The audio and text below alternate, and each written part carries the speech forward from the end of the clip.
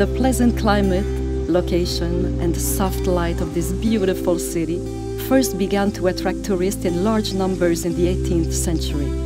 At that time, many families of the English aristocracies were fond of spending their winters here, with an evening walk along the seashore as one of the highlights.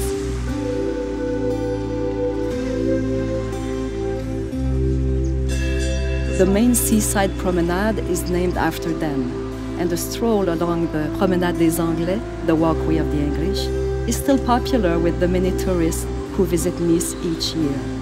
In fact, it's the second most visited French city after Paris.